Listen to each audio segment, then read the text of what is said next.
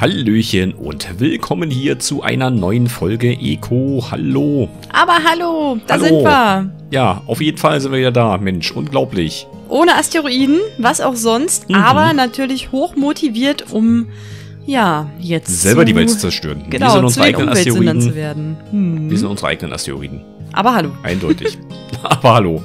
Guti, dann äh, ja, können wir ja noch mal ein bisschen zeigen, was eigentlich so im Stream passiert ist am Wochenende. Oh ja, da ist einiges passiert. Es war wieder sehr, sehr unterhaltsam. Wir haben viel gelacht und äh, viel Blödsinn gemacht. Wie soll es auch anders sein? Genau, und der Clemens, der kam auch noch dazu und der war sogar richtig fleißig hier in der Mine Mhm. und Der hat Der hier hat nämlich rumgebaggert. gebaggert, genau. Ja, sieht man hier, ne? Also da ist auf jeden Fall vieles angegraben.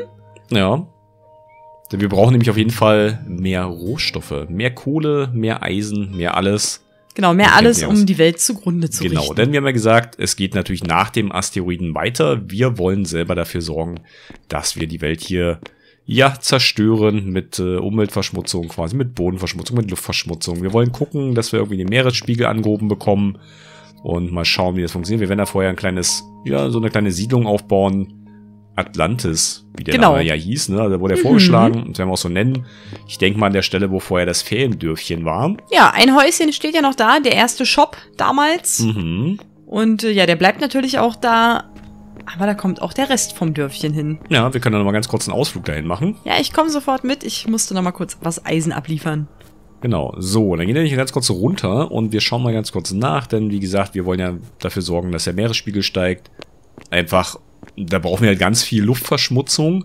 Und dafür haben wir noch ein bisschen was gebaut, das zeigen wir dann gleich. Aber hier unten können wir dann so vielleicht, weiß nicht, Atlantis bauen und das dann im Meer versinken lassen. Das ist bestimmt total geil. Ich bin gespannt, wie lange wir brauchen werden, um ja das Ganze hier zu versenken. Na, wir brauchen auf jeden Fall fünf, sechs Forges, die 24-7 brennen. Also es dauert schon eine Ecke. Ja. Aber gut, Rom war da, äh, wurde auch nicht an einem Tag erbaut, ne? Versenkt. Und Atlant Atlantis auch nicht an einem Tag versenkt, genau. Ja, genau. Also hier kommt dann So unser. Feriendörfchen hin, mehr oder weniger. Und dann werden wir mal sehen, dass wir das Ding hier irgendwie unter Wasser gesetzt bekommen. Aber dazu brauchen wir halt noch ein paar Rohstoffe.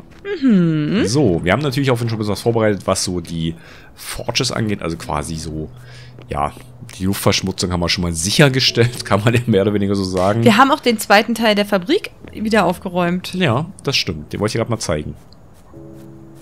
Na, dass ihr mal seht, wir sind mega fleißig Mhm. unterwegs. Ja, wir haben auf jeden Fall im Stream ja auch noch einiges gefarmt und äh, ja, ein paar Lämpchen habe ich dann gehängt. Hier alles jetzt ausgeleuchtet, damit wir was sehen. Ne, ganz wunderbar. Und ansonsten haben wir natürlich hier noch unten schon mal Kohle gesammelt, schon mal Eisen gesammelt im Stream mit dem Clemens zusammen, dass wir das alles durchbrennen können. Ich denke mal, wir werden erstmal Eisenbarren herstellen und daraus dann Stahlplatten, weil es bietet sich einfach an. Und ja, hier drüben ist die Fabrikhalle mit den neuen Blast Furnaces. Auch schön ausgeleuchtet, auch in, in groß gebaut und vor allem, ist glaube ich das erste Mal, dass die überhaupt fertig geworden ist. Ja, das stimmt. Die war da vorher nicht komplett eingerichtet. Da fehlte, glaube ich, ein bisschen was. Mm, Ja, und die ist auch deutlich größer geworden, als sie vorher war. Die ging ja nur bis zur Hälfte, also bis zu dem Ja, hier zum Mittelbalken. genau. Ja. Und da haben wir gesagt, okay, da bauen wir jetzt hier drüben die, die Blast Furnaces rein, also die Hochöfen. Und hier können wir dann ganz viel Metall durchschmelzen. Ne? Oh das ist ja. auf jeden Fall richtig gut. Das kann hier richtig abdampfen, ey. Mhm. Die sind auch alle verbunden hier oben. Man sieht das über Rohrleitungen. Das geht alles zu unserem Schornstein in der Wüste. ne? Also rein theoretisch können wir das natürlich auch hier alles rauslassen. Das wäre auch durchaus möglich. Aber wir werden auf jeden Fall erstmal gucken, dass wir die Umweltverschmutzung halt, ja, oder beziehungsweise den Meeresspiegel erstmal überhaupt angehoben bekommen. Mhm. Also, das haben wir ja vorher noch nicht ausprobiert. Von daher wird das für uns ja auch ein erstes Mal. Genau, und wir werden natürlich ein paar Tailings hier in die Landschaft kippen. Huch, ein paar Tonnen liegen gelassen oder so. Einfach und, mal im Wald. Ah, Moment, siehst du, bevor Ja. ich es vergesse. Wir hatten ja noch einen Tipp bekommen. Du erinnerst dich. Ja, wir haben einen Tipp bekommen zur Lampe, zur Tischlampe. Und wir werden es mal ausprobieren. Genau. Ob das funktioniert. Denn beim letzten Mal haben wir ja probiert, diese Tischlampe auf den Tisch zu setzen. Man könnte ja denken, das geht mit einer Tischlampe. Müssen wir natürlich wissen, wo die ist. Ja. Hier draußen bitte in der Warte Kiste. mal, vielleicht habe ich die auch. Nee, ich habe sie nicht. Hm. Ich hoffe, sie liegt irgendwo in der ja, Nähe. Die, die liegt auf jeden Fall irgendwo rum. Die Frage ist nur wo. Wir gucken Hm, mal. Hier in der Nähe nicht. Ja, jedenfalls muss man dann einfach mal die Tischlampe auf einen normalen Block bauen und den Block dann wieder abbauen und den Tisch runterschieben. Wir sind natürlich gespannt, ob das so funktioniert und vor allen Dingen, wenn das denn tatsächlich sein sollte, dass die Lampe dann auf dem Tisch steht, ob die dann aber auch Strom bekommt. Mhm. Ob das richtig registriert wird quasi. Ja, denn das Problem ist, ist nämlich gar nicht so sichergestellt, dass es unbedingt auch funktioniert, denn man merkt das bei normalen Lampen, ähm, da kann man zwar den Block drunter wegbauen, die bleiben da noch in der Luft schweben. Das Problem an der ganzen Sache ist halt nur, naja, die leuchten dann halt nicht mehr. Mhm. Aber ich finde die Lampe gerade nicht. Toll. Toll. Wer hat die Lampe geklaut? Hm, ich weiß Also nicht. hier ist sie nicht, ansonsten schmeißt er eine neue an. Ich guck mal kurz. Die dauert da auch nicht so lange, Küche. oder? Nee, eigentlich sollte es nicht so lange dauern, aber keine Ahnung, wo die gelandet ist. Naja, bauen wir eine neue. Ist ja auch nicht Problem. Ja, das wäre auf jeden Fall, glaube ich, ein interessanter Ansatz. Die Frage ist natürlich, ob es funktioniert. Aber wir werden es testen, haben wir ja gesagt. Ne? Ja. Wir sind doch gerne bereit, ein paar Sachen auszuprobieren. Und es wäre total cool, wenn es klappen würde. Mm, So, wo haben wir die Tischlampe? Ich guck mal kurz, ob die vielleicht hier in einem der Wagen drin ist. Das, Manchmal Pro das Problem komisch. ist, die sieht ja auch nur aus wie ihr Steel Table Lamp, sieht aus wie so ein komisches hier, so ein Platzhalter-Template. Ah, okay. So, zwei Minuten, dann kriegt man hin, kein Problem. Ja. Was Wir sind können, schon ja, zwei wir können ja Minuten? schon mal die Vorbereitung treffen, um oben das auszuprobieren, ne? ja. Dann brauchen wir einen normalen Block. Na, ich hol mal einen. Was nimmst du für einen? Naja, irgendein Stein ist doch egal. Einen schönen ist ja nicht so Steinblock. wichtig. Ach, wir müssen noch Stizien in die, in die Blumentöpfe werfen. Ja. Hm. So, okay. Das steht schon mal. Aber hier sind auch schon wieder weg. Die hat man gestern angepflanzt. Ja, die verschwinden halt jedes Mal aufs Neue. Keine Ahnung. Wahrscheinlich, Hm. weil einfach der Blumendienst versagt hat. Mhm. Hier Ja, und will übrigens, halt wir haben im Stream haben wir jetzt tatsächlich hier so einen, so einen Zettel rangekriegt. Ja, genau. Uns wurde verraten, wie das funktioniert. Man muss halt einfach, ja, gültige Aufträge hier ranhängen. Ich habe da Ewigkeiten probiert, bei mir hat's nicht geklappt. Dann hat Mario einen hier festgelegt und schwupp, hatten wir einen Zettel dran. Leider haben wir aber immer noch nicht die Info bekommen, wie man denn dafür sorgen kann, äh, dass die Icebox offen ist. Also wir haben ja schon gesehen, wenn man die Icebox hinsetzen möchte, dass dann halt da ganz viele Items zu sehen sind. Wenn man aber welche reinpackt, dann ist die Box trotzdem zu. Also wenn ihr da eine Idee habt, wie man diese Box öffnen kann, sodass sie auch offen dasteht oder so, dann immer her damit. Da stellst du gerade einen neuen, einen neuen Auftrag ein. Ja, ich guck mal ganz kurz. Ähm, keine Ahnung, nehmen wir mal Test. Der gute Testauftrag. Post-Job. Ah, jetzt haben wir zwei. Cool, ne? Geil. Läuft. Da kannst du das ganze Board voll hängen. Auf jeden Fall. Ja, das passt auf jeden Fall schon mal ganz gut. Ich meine, hier so ein Whiteboard, da darf auch gerne mal was dran stehen oder dran hängen, ist ja gar nicht das Problem. Mhm. Ist auch tatsächlich ein nettes Gimmick. Habe ich ehrlich gesagt nicht mit gerechnet, dass das funktioniert. Nee, ich dachte auch, die Dinger bleiben leer. Ja, und äh, wie gesagt, mit der Icebox hat Anni ja gerade schon erwähnt, da sind ja auch Sachen drin zu erkennen, wenn man das Ding platziert. Aber die Frage ist, wie kriegt man die Icebox auf? Es wäre schön, wenn da wirklich irgendjemand mal einen Tipp hat. Also bitte einen, der auch funktioniert. also ich meine, wir probieren ja gerne aus, aber da wäre es schon cool, wenn wir irgendwie erfahren, wie das richtig gehen kann. Oder ob es halt wirklich einfach nicht geht. Mhm. Ist ja alles möglich. So, die Lampe ist fertig. Jetzt Oh, stellt sich natürlich die Frage, wo sie gelandet? Ähm, Wir haben ja nur so ein, 2000 Hier. Kisten. okay, dann Freunde, Daumen drücken, dass das funktioniert. Mhm. Ich bin sehr gespannt. Ich stehe schon mal bereit. Ich habe ja auch schon mal den Tisch am Start. Oh, schön, die leuchtet ja auch gleich.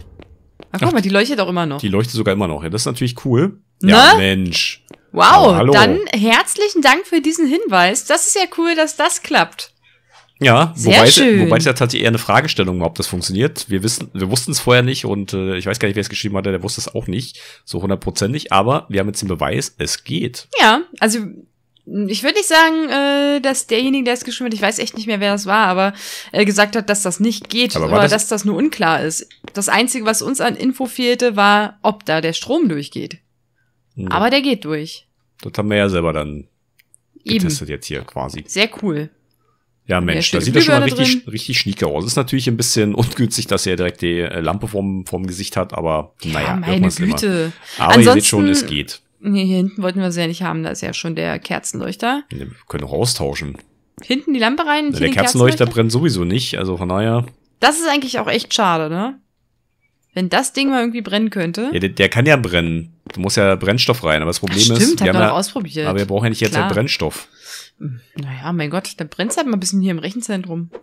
ja, super. Ist total super.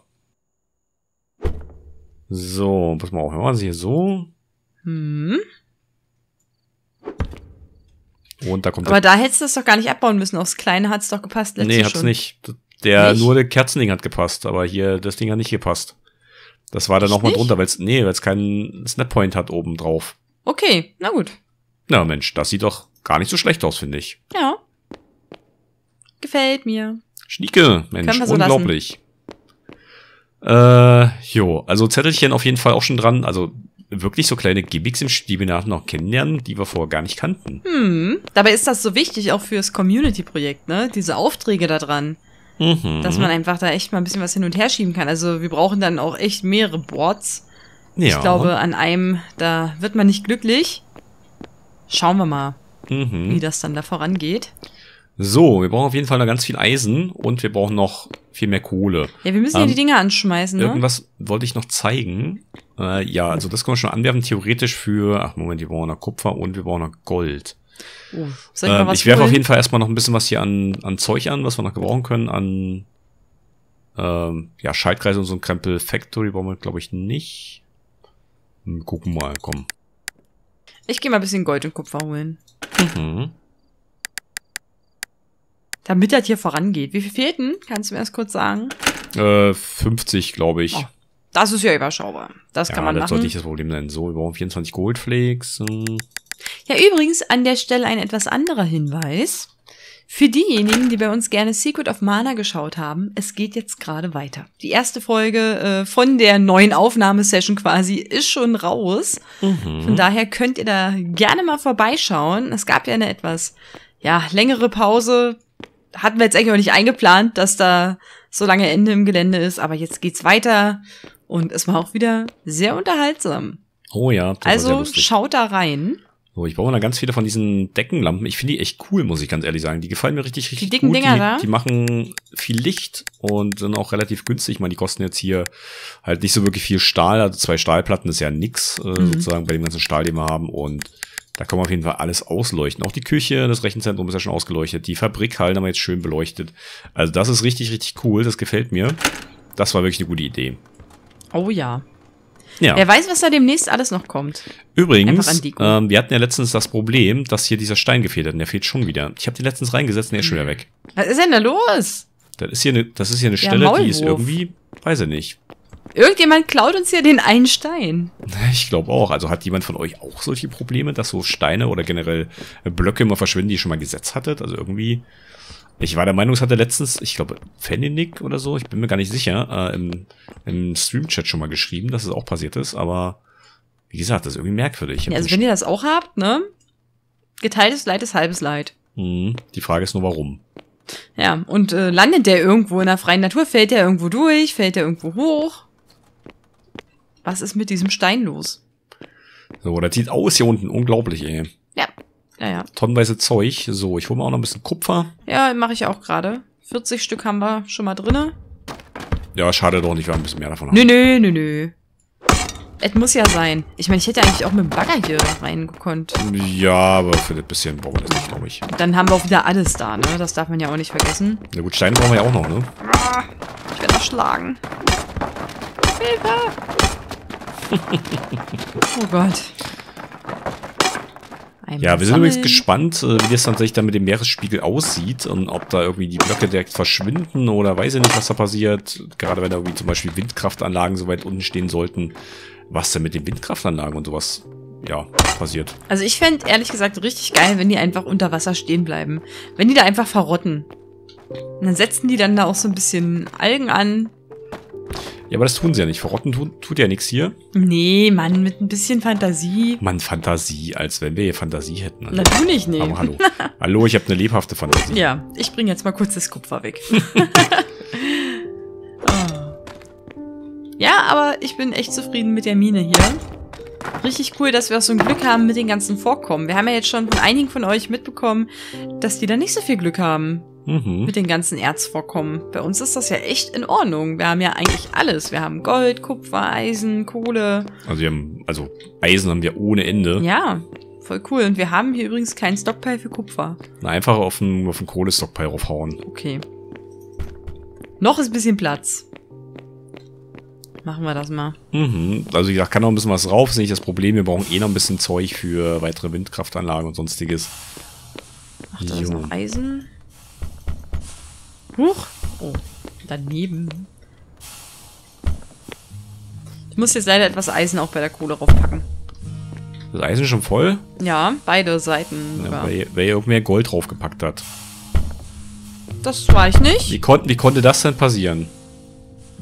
Wir brauchen noch 20 Gold. Geht ja eigentlich. Ich geh mal kurz runter in den Bunker. Oder gibt's hier oben irgendwo auch noch Gold? Mm, nee. Doch, glaub- warte mal. Da vorne. Aber nicht viel. Aber ein bisschen. Dann nehmen wir mal kurz das mit. Ich muss bald mein Werkzeug wieder reparieren hier. Das geht immer alle zu schnell kaputt. Aber irgendwie sind die Stockpiles nicht verknüpft gewesen. So mal, so mal Kupfer, das machen wir gleich durch. Hier haben wir noch Eisen, das kommt noch angehakt. Dann muss es passen. Okay, super. Ja, für diejenigen, die sich fragen sollten, wie es denn möglich ist, hier überhaupt den Meeresspiegel steigen zu lassen. Ähm, wir hatten das schon in den Kommentaren mal kurz als Frage und ist halt relativ, naja, blöd zu erklären, wenn man es nicht gerade irgendwie bildlich vor Augen hat. Aber man sieht ja hier zum Beispiel, wir haben gerade aktuell eine CO2-Produktion von 1 ppm pro 4 Stunden, das heißt 6 ppm am Tag. Und ähm, die Atmosphäre oder die generell, äh, generelle CO2 Emission in der Atmosphäre muss unbedingt 375 ppm betragen. Das heißt, wir haben eine Differenz von 50, die wir irgendwie pro Tag generieren müssen. Ähm, be beziehungsweise nicht pro Tag, sondern die wir halt erstmal überwinden müssen, bevor wir überhaupt ja, eine Auswirkung beim Meeresspiegel haben. Und da haben wir unten eine CO2-Emissionen-Reduzierung durch Pflanzen. Das heißt, 28 werden automatisch abgebaut. Das heißt, von unseren 6, die wir am Tag produzieren, bleibt halt nichts übrig. Deswegen natürlich ganz viele von diesen Hochöfen, denn wir müssen auf jeden Fall mehr als 28 ppm pro Tag produzieren. Das heißt, irgendwie fünf äh, Blast Furnaces müssen wirklich 24 Stunden laufen. Und deswegen sammeln wir auch gerade die ganzen Rohstoffe, weil 24 Stunden müssen die Dinger kontinuierlich durchbrennen, damit wir überhaupt 2 ppm mehr haben. Und das ist schon wirklich krass, was man da an ja, Zeit investieren muss, um das Zeug halt wirklich richtig hinzubiegen. Ja, zumindest, wenn man, so wie wir jetzt gerade, äh, nur recht unterbesetzt sind, ne? Mhm. Das ist was anderes, wenn man da dann wirklich mit mehreren Leuten spielt, dann ist das äh, gut machbar und auch, ja, der Aufwand hält sich an Grenzen, ne? Aber jetzt quasi hier, äh, quasi hier so zu zweit recht aktiv dauert das ein bisschen. Mhm, ja, deswegen hat man ja gesagt, das ist so generell zu zweit ist die Umweltverschmutzung eigentlich fast kaum möglich, wenn man nicht gerade wirklich äh, extrem viel Zeit investiert. Man könnte natürlich, und das machen wir auch, Tailings einfach in den Wald kippen und mal gucken, was da mit dem Wald ringsum passiert. Also, ne, Mhm. einfach mal so ein, eine Ladung vom Bagger kippen oder sowas in der Richtung, weg und durchaus möglich. Aber wie gesagt, alleine schon, äh, ja, die, die fünf Blast Furnaces, die wirklich 24 Stunden laufen müssen, Ja, die müssen halt immer beheizt das werden. ist schon eine Kunst für sich. brauchen echt Brennstoff ohne Ende. Mhm. Aber wir werden das hinbekommen. Also wir können natürlich auch Generatoren und so einen Krempel anwerfen, das ist natürlich auch klar, logisch, das werden wir auch machen. Also wir werden so viel möglich äh, ja, produzieren, CO2-Ausstoß, sonst wird es nämlich nichts. Ja, aber wir müssen ja erstmal überhaupt an den Punkt kommen jetzt hier, ne? Also, wie Ja. gesagt, das muss erstmal alles irgendwie ja, vorbereitet werden. Wir sind ja schon fleißig dabei. Und ich muss sagen, ich freue mich tatsächlich auf dieses Experiment. Also ich, ich hoffe mal, oder wir hoffen mal, dass ihr euch natürlich auch freut auf die Auswirkungen, was das Sinn ist. Denn wir haben ja schon mitbekommen, einige von euch haben ja schon gesagt, na, die würden das gerne mal sehen, wie das aussieht und was da passiert. Hast du nicht gesehen? Denn die wollen das ungern bei ihrer eigenen Welt machen. Kann ich auch verstehen. Kann ich nachvollziehen, aber wir sind natürlich hier gerne bereit, mal ein paar soziale Experimente durchzuführen mit der Tier- und Pflanzenwelt hier. Aber hallo, ey. Ne? Von daher wisst ihr schon mal Bescheid. Also wir testen hier gerne alles aus und wenn ihr noch weitere ja, Sachen sehen wollt, was wir testen sollen, immer her damit. Einfach in die Kommentare rein und dann testen wir rum. Mhm, ich habe übrigens das Gold schon nach oben gebracht. Wir sollten jetzt genug haben. Mhm. So, ich kann sogar tatsächlich hier gar nicht so viele Dinge eingeben, nur dreistellig maximal. Dann kannst du zwei Projekte starten. Ich kann einfach 999 machen und. Na, okay. Nee, springt noch auf 300. Warum eigentlich? Na, guck mal, geht doch. Na, siehste. Hat er 1000, erkannt. 1000 Eisenbarren. Oi. Da ist mal hergestellt. Ich guck mir das hier erstmal gleich mal an. äh, Zeit wie. Aber das dauert nur eine Stunde 40. Und das ist halt der Vorteil, wenn wir nämlich aus den ganzen Eisenbarren dann Stahlplatten herstellen. Man sieht das dann hier so. Ähm, machen wir mal hier, weiß ich nicht, so. Na komm, gib mir. Hallo. Das will nicht klappen. 500. Ja, wenn wir hier 500 Stahlplatten herstellen, dann seht ihr mal, was das für ein Aufwand ist, weil die 500 Stahlplatten brennen halt auch nur 8 Stunden, 19 Minuten. Also es ist wirklich gar nicht so einfach. Ne? Man wir, muss regelmäßig nachschieben. Ja, und wir bauen, glaube ich, dann einfach ganz viele äh, Generatoren irgendwo in die Welt, damit wir dann halt einfach dort noch ein bisschen Abgase produzieren. Wobei ich nicht hundertprozentig weiß, wie viel... Wir können im Moment, wir können echt mal gucken. Das mache ich mal eben. Ja, mach mal. Denn, Check wie gesagt, die die, die, weiß nicht, ob die irgendeinen Reinigungsfilter drin haben, denn irgendwie diese Hochöfen produzieren nicht wirklich viel Vergasung. Also von daher, hm, es wird schwierig. So, jetzt muss ich natürlich gucken, wo der Generator gelandet ist. Ähm, Generator.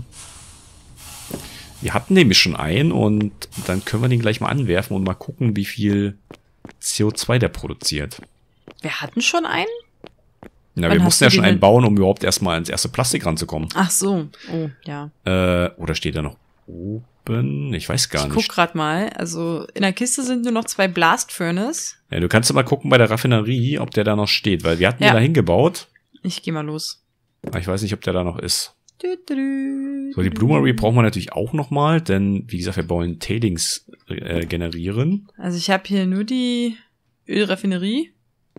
Da ist kein Und- Generator, nix. Mm -mm. Nee, gar nicht. Hm, Die steht hier Mutterseelen allein. hier ist übrigens die Lampe. Ich habe die Lampe gefunden. Oh, sehr gut.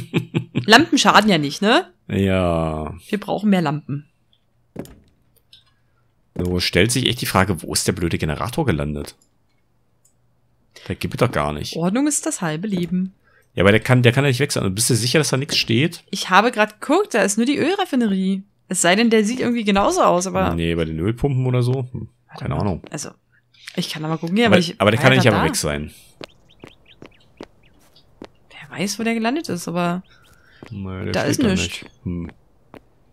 Merkwürdig, merkwürdig. Generator, wo bist du? Freunde. Irgendwer hat gemobst. Hm. Vielleicht war das ja Clemens. Ja, und wahrscheinlich ist da auch der Stein. Der eine. Ja, das stimmt. Der baut den bestimmt immer raus. Schön heimlich. Weil man hat ja sonst nichts zu tun.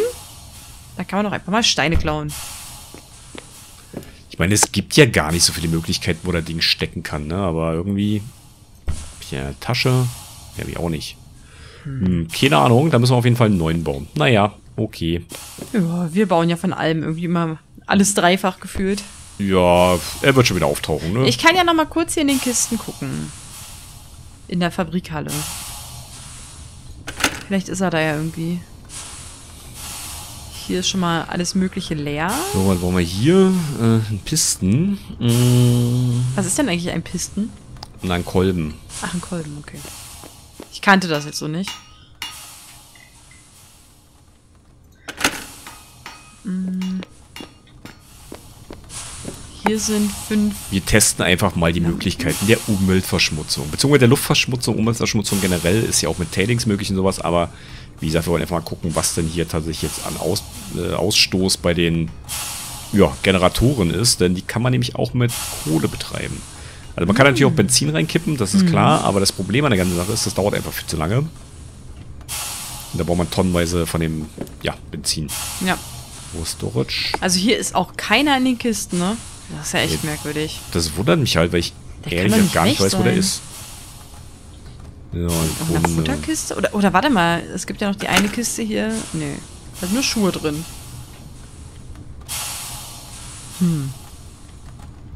Hat vielleicht der Clemens gemupst. Ja, vielleicht auch nicht. Wer weiß. So, okay. Combustion Generator ist gleich in Arbeit. Mal gucken, sechs Minuten braucht der. Das ist ja überschaubar.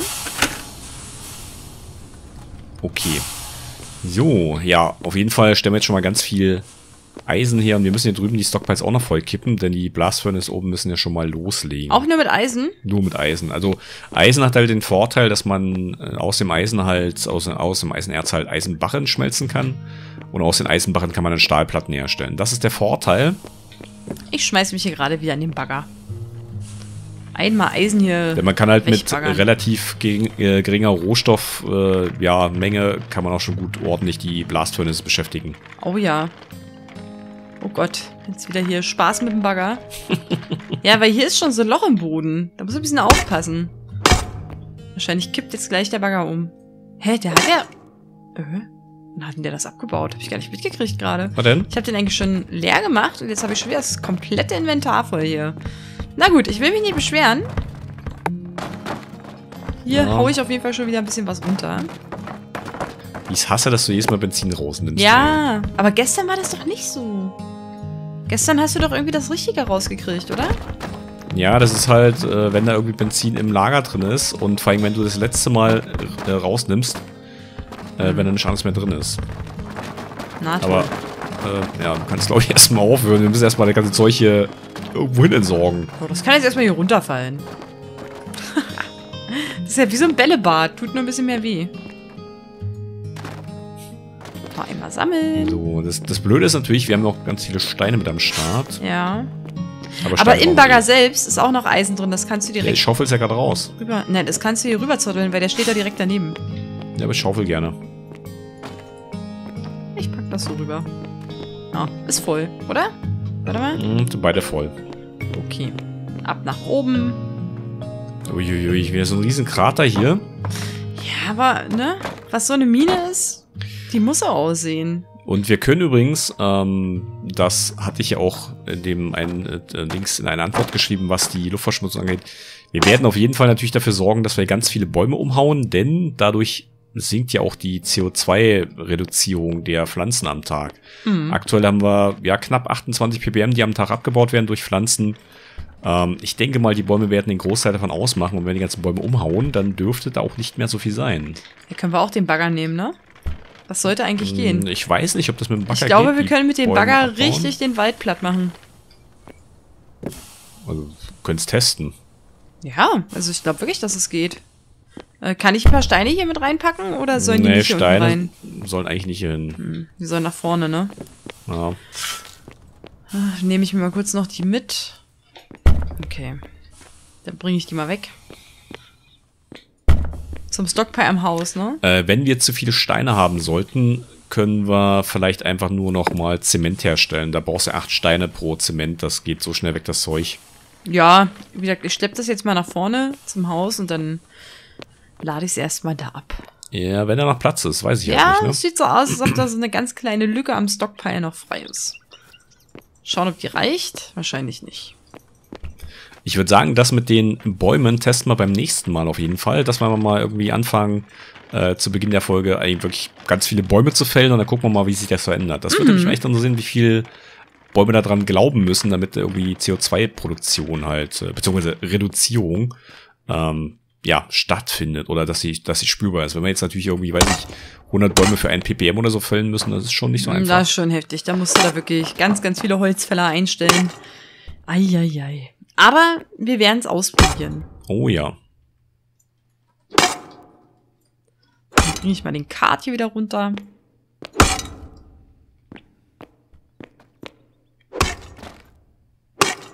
Ist der Aber voll, echt- der andere? Äh, die mache ich gerade wieder voll. Es ist aber schon echt Wahnsinn, wie viel, also wenn man das mal so in Zahlen sieht und das mal so richtig anschaut, wie viel man da wirklich generieren muss. Also wie gesagt, es müssen halt, die Blast Furnaces müssen halt wirklich rund um die Uhr laufen. Fünf Stück für 30 ppm ungefähr, ne? Also von daher das ist schon Wahnsinn. Und wenn du halt wirklich 500 Stahlplatten äh, in acht Stunden durchhaust, uiuiui. Oh ja. Ist, also wenn man sich mal die Relation anschaut, da muss man schon wirklich ranklotzen, Freunde. Ja, na, wie gesagt, es ist halt echt was anderes, wenn du da noch mehr Leute hast. Da geht das, glaube ich, richtig flott. Mhm. Da Aber wir wollen es so, natürlich Umwelt trotzdem zerstören. Wir wollen es natürlich fertig. trotzdem testen. Ja, naja, natürlich. Sonst wären wir jetzt nicht hier. ja, und wie gesagt, vergesst nicht, ihr könnt uns immer wieder Vorschläge schicken, was wir denn noch so ausprobieren sollen, um der Umwelt hier zu schaden. Oder generell vielleicht einfach nur so ausprobieren sollen. Oder, ja, klar. Wie zum Beispiel die Sachen Sache mit der. Lampe. Ja, genau. Was ihr schon immer mal sehen wolltet, sozusagen. Jo, der Wagen ist voll, ich bring die mal hoch.